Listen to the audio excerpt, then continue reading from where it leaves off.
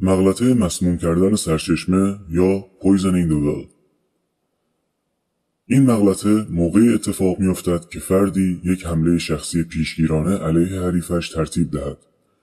یعنی از همان اول با بیاناتی تخریب کننده درباره شخصی خاص سعی کند ذهنیتها را نسبت به او عوض کند و بدین ترتیب ادعاهای خودش را پذیرفتنی تر جلوه دهد و اعتبار ادعاهای شخص مذکور را زیر سوال ببرد. مثال اول. شخص الف. من چند سال از فیسبوک استفاده می کنم و خیلی از کارایش و فضاش راضیم. تا وقتی فیسبوک داریم کدوم احمقی از اینستاگرام استفاده می‌کنه؟ توضیح صرف نظر از درست یا غلط بودن این ادعا شخص الف با به کار بردن کلمه احمق سعی دارد ذهنیت شنونده را نسبت به کسانی که از اینستاگرام استفاده می‌کنند آلوده کند و دفاعی احتمالی افراد دیگر از اینستاگرام را احمقانه جلوه دهد.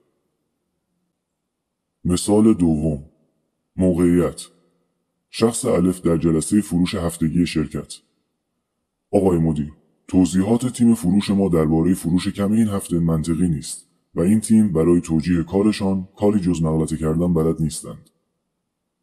توضیح شخص الف با بیان اینکه تیم فروش کاری جز مغلطه کردن بلد نیست سعی دارد در ذهن مدیر تمام توضیحات تیم فروش را مغالطه آمیز جلوه دهد.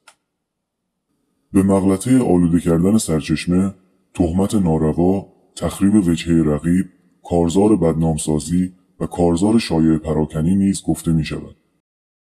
کاری از تیم جمهوری بیخدایان